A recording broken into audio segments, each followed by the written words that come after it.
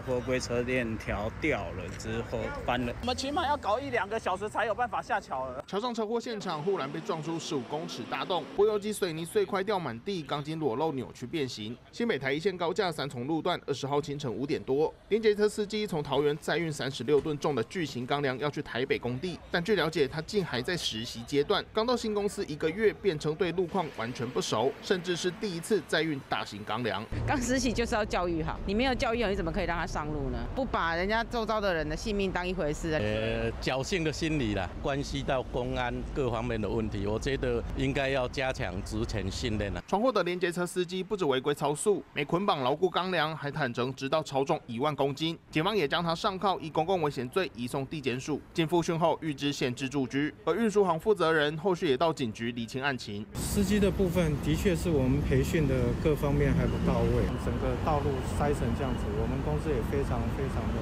抱歉。这一点我真的跟大家说声对不起，我们一定会处理到。新北养工处出估修桥需要两千万，是否也将向司机及业者求偿？该负的责任一个都跑不掉。这黄军陈冠新北报道。